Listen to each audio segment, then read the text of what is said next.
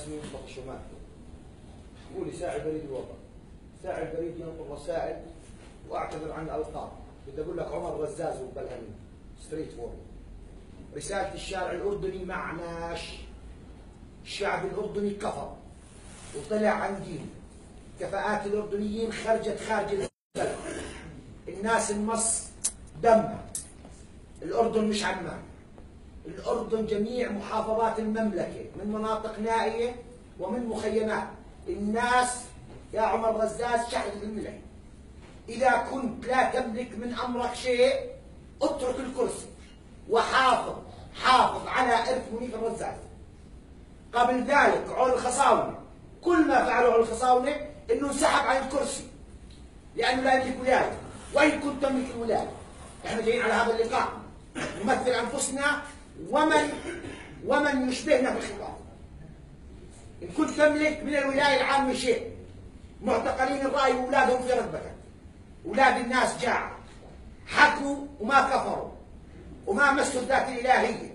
إن حكى هو غضبان ربنا بيغفر. إذا بتطلق مرتك وأنت زعلان ربنا بيغفر. هذول اولادنا التجار تشردت يا عمر رزاز ما ظلش تجار في البلد. المولات اتكسرت وسط البلد خاوية على عروشها وهي نبض الأردن.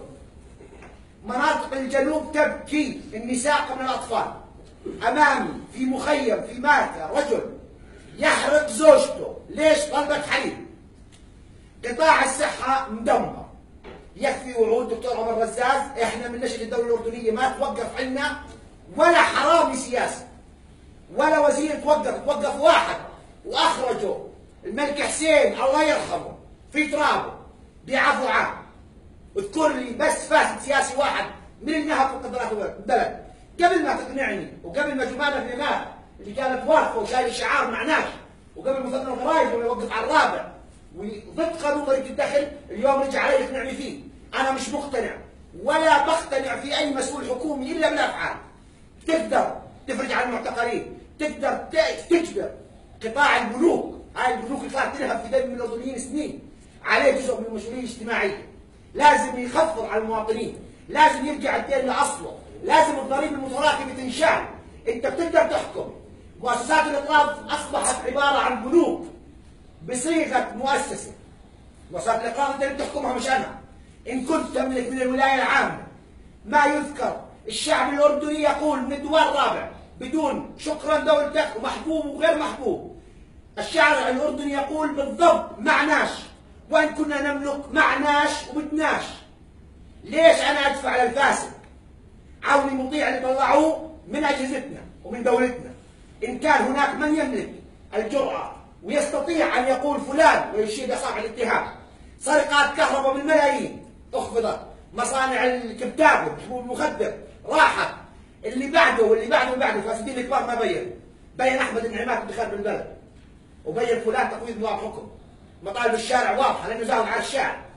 معناش والله العظيم إنه المواطن الاردني ما معه كفر برب النعم. أربع أشياء كما قال ماسلو. أنت دكتور خريج هارفارد. ماسلو قال أربعة للبقاء. المأكل والمشرب والنفس والنوم. لا تقول للي جاع أصبر. لا تقول له نام مستدعى الحكومة 90 يوم ولا 100 ولا يوم ولا ساعة. إذا المعدة جاعت وفضيت تكفر برب اللي خلقه إن كنت تريد الاصلاح الحقيقي الناس جاعت في الشوارع. أضغط على البنوك تخفف على الناس 240 أردني. مطلوبين للتنفيذ القضائي. ولا وين إحنا؟ إحنا وين في أفغانستان؟ إرهابيين. الإرهاب مصدر الحكومات اللي جوعت الشعوب. الشعب ما طلع على الشارع مش مطلوب مني افهم ولا بقبل من أي مسؤول سياسي. يقول لي افهم ليش نازل على الشارع فقط مش مطلوب مني أفهم. لأني أشعر بتبعيات صانع القرار الفاشل والذي لا يملك الحد الأدنى من إدارة امره أو أمر الدولة. إن كنت أنا ابن شارع وجاي هون ممدوح العبادي من قال إن الوزراء تعيين نرفض المعينين. الملك نفسه ب 2011 قال حكومة منتخبة من قلب الشارع. مجلس النواب فاشل وساقط شعبيا. وحكومتك إن لم تصدر هذه الجلسة أمام العلم انك تملك ولاية عامة وتطلق على الأقل من هذا المقعد اللي انت جالس عليه الإفراج عن معتقلين الراي والإصدار العفو العام. الناس شحنة الملح. أقسم بالله العظيم. يا عمر رزاز وعز جلال الله إنه العسكري قبل المواطن العادي يشكي فقر الحال. ولا يملك اجار الطريق صح. أقسم بالله العظيم العسكري اللي امه بتقول له روح معك ربة خبز علي الحرام من ديني لا يملك حقها لأنه كل ما يملك اجار الطريق وماخذ من زميله. شرطه السير ورجال امن العامل على الحدود وحرس الحدود هم أولى بالمناصب وهم أولى بمعاليك وعطوفتك. أنا ماني جاي أسمعك لا عطوفة ولا معالي لأني أكفر بكل الكتب السماوية إذا جاء المواطن. مين ما كنت تكون؟ صراع البقاء أربعة. شبعني وسكنني وشربني مي وخليني أتنفس هواء بلادي. واعمل اللي بدك إياه. أرفض إعطاء أي دقيقة. بعد هذا اللقاء لم يخرج قرارات إحنا أول ناس. غامرنا يا دكتور عمر رزاز في هذا اللقاء والكل يعلم. غامرنا والله. سمعتنا وسمعة آبائنا سمعة أبهاتنا وأعراضنا شتمت. وانسب علينا إنتوا شرف دماغكم وإحنا ما نشرب أنا صار لي ست شهور في الشارع بصيح بدي إياه. جيت على قناه الحوار حياك الله. المطلب الأول والأخير معناش الشعب كفر. انتهى. هاي مطلب الشارع واللي بيقول لك غير هيك بيقول لك هذا اصلاح الاصلاح من عندك. قبل ما تطلب مني أصبر قول للحراميه والفاسدين رجعوا اللي نهبتوا من البلد. ولا تقول لي 40 مليار راحت على البلد. التعليم مدمر والصحة مدمرة والطرق مدمرة والبنى التحتيه مدمره ما ظل. أنا ساعي بريد حرام علي. تحرم حرام علي من ديني إذا جاي بدي مطلبي أو لحد يخصني أو بعرف واحد من هذول الناس بعرف شخصيا هاي الناس مظلومة. إن كنت تملك من قرارك شيء الآن وقف قدامهم إذا تعتبرون مرتين على الشعب واطلق سراح المعتقلين الآن. ما سبوا الله ما سرقونا. ما بدي أقول لك من باحها ولا الموتاس ولا المينا ولا شركة الكهرباء اللي أنت كنت رئيس لجنة التخاصيل الملكية.